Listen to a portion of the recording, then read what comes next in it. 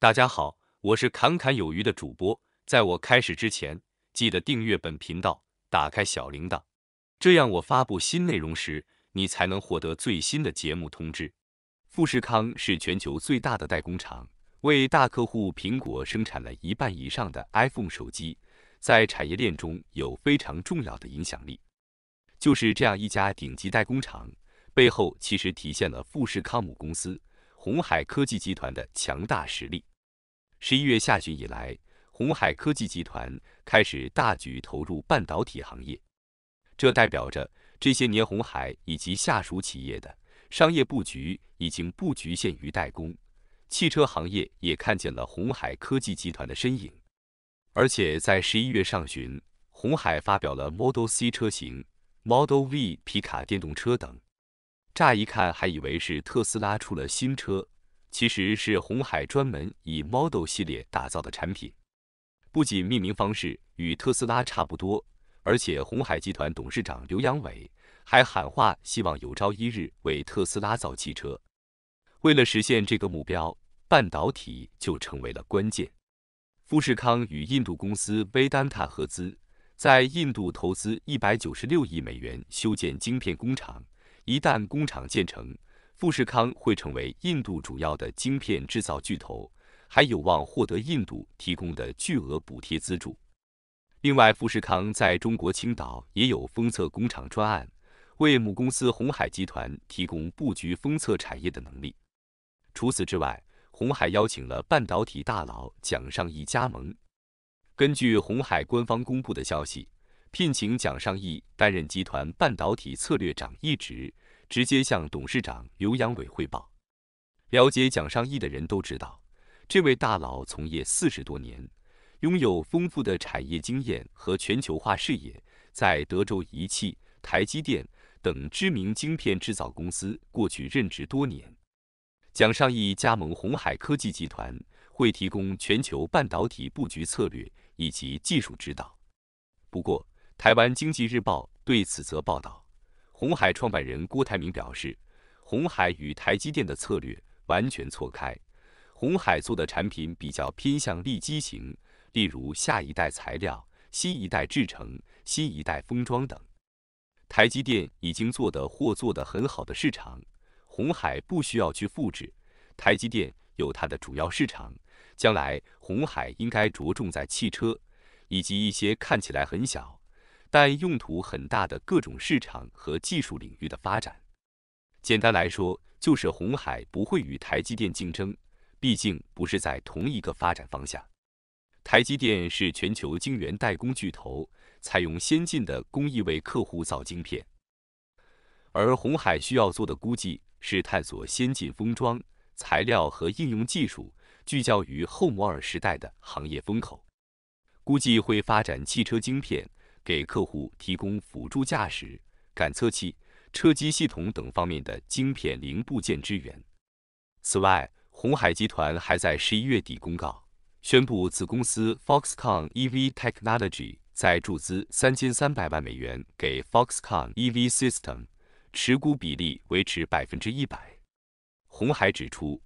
此次注资主要目的为长期投资 Foxconn EV Technology。是红海集团在海外布局电动车事业的重要公司。去年十一月，红海与美国商用电动轻型卡车供应商 Lostown Motors 正式签署俄亥俄州 Lostown 厂房最终资产购买协议，Foxconn EV Technology 即是投资主体。实际上，五月底红海就曾公告。Foxconn EV Technology 增资四千一百九十三点二万美元，折合新台币十三亿元，挹注 Foxconn EV System。展望明年电动车布局，红海日前在线上法说会指出，在台湾 Model C 交车给纳智捷，并兴建高雄电池中心；美国生产 Indy E 原型车，量产 Monarch 电动农用车；在泰国兴建电动车制造工厂。在沙乌地阿拉伯推进软体及工程服务，在印尼推进电动巴士及电池制造，在墨西哥扩建车用零组件工厂。另外，五月初，红海也公告 Foxconn EV Technology 增资五千五百万美元，折合新台币十七亿元，取得 MIH EV Design 约百分之五十五股权。MIH EV Design 是红海子公司，与美国商用电动轻型卡车供应商 Lostown 合资，服务全球原厂委托制造 OEM 客户，并引入 MIH 电动车联盟的开放平台设计。这也代表红海集团正式取得 Lostown 在美国俄亥俄州生产和装配厂，确立在北美电动车生产基地。红海希望未来能为特斯拉造汽车的表态。也让特斯拉加紧自身的布局。特斯拉执行长马斯克近日表示，特斯拉中国第一百万辆新车下线，并透露了上海工厂供应链本地化率已经超过百分之九十五，这距离在中国的国产特斯拉零部件实现百分之一百本地化供应的目标又近了一步。然而，随着这一举措，对晶片的需求也越来越大。特斯拉现在正试图满足这一需求，不仅利用台积电，而且还在中国布局汽车晶片的研发和制造，建立了自己的专注于晶片的合资企业 JV。特斯拉十一月底在中国济南与 Inex Semiconductor 成立了一家合资晶片公司安纳斯半导体，该合资公司拥有一点五亿美元的注册资本，Inex 拥有百分之五十五的股份。其次是济南苏黎世安纳斯股权投资基金合伙企业占百分之四十的股份，其余百分之五的股份由特斯拉拥有。作为安纳斯半导体的控股股东，Anex 则是一家全球领先的半导体公司，为快速发展和复杂的先进驾驶辅助系统 ADAS 以及自动驾驶 AD 市场提供领先的晶片解决方案。今年六月。苏黎世基金 Zurich Fund 宣布，以全现金交易方式完成对 Inex 的收购，总交易对价五十亿美元。特斯拉持有的股权比例虽然仅有百分之五，相对比较低，但这却是其首次在中国布局晶片设计及制造环节。与此同时，特斯拉终于在自动驾驶领域大放异彩。向北美所有人开放了其自动驾驶系统的完全自动驾驶 FSD 功能。同时，根据未来基金管理的一名合伙人的统计，特斯拉预计将在2022年第四季度确认约十亿美元的 FSD 相关递延收入。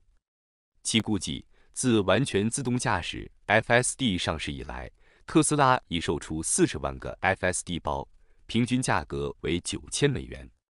假设在美国卖出了三十万，百分之四十的未摊销赤字，这意味着潜在的红利释放为十一亿美元。特斯拉前不久大张旗鼓地推出了基于视觉的自动驾驶迭代，通过八个高解析度的镜头和一个高科技的神经网络来解释视觉线索，自动驾驶仪将模仿人类在路上做决定的方式。去年，特斯拉发表了基于七纳米的第一晶片，为其 Dojo 超算提供动力。该公司通过输入数百万辆已在路上行驶的电动车所拍摄的视觉片段，来训练其自动驾驶神经网络。这家电动汽车公司在今年的 Chips 三四活动中透露了很多关于 Dojo 超算的细节。与此同时，据报道。特斯拉已经向台积电下了一份大规模的晶片订单。据报道，该订单规模之大，将使特斯拉成为台积电明年的七大客户之一。这些晶片将在台积电的四纳米、五纳米节点上制造，而在过去，三星负责在其十四纳米架构上制造特斯拉的 FSD 三点零晶片。然而，根据 DG Times 的报道。特斯拉现在显然正在远离三星，转向台积电制造下一代 FSD 4.0全新晶片。